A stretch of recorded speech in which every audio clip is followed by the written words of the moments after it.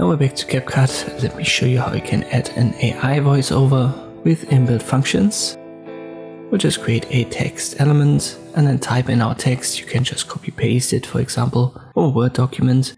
But be aware that there is a character limit in these text elements. I'll show you how to deal with that later.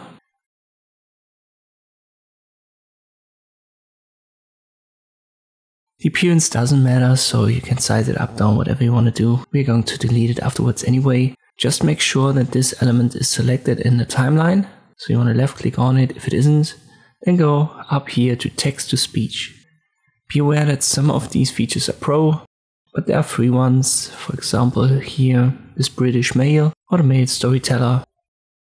This is a test to show how the AI voiceover works. If you left click on it, you're going to hear a preview it reads kind of like the first two or three seconds, I believe, of the text element that's selected. And when you're fine with this voice style, just go to start reading. It's going to get processed. And once it's done, you have this audio clip of your text element. So this is the text. Let me play it. This is a test to show how the AI voiceover works. And there you go. This is how easy you can do that. Afterwards, you can just delete the text element but as I've said, if you reach the character limit for this text element, let us just copy paste this a couple of times. And at some point we can't paste it anymore.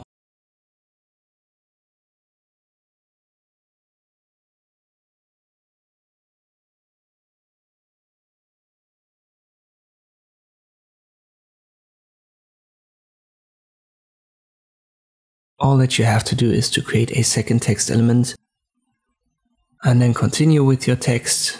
So copy and paste the text that comes after the character limit for the first element was reached and then create a text to speech for this as well. Just make sure to have the same voice style.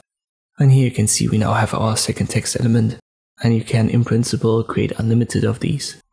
And that's all there is to adding an AI voiceover in CapCut using inbuilt functions. I hope this video was helpful, thank you for watching and I'll see you next time.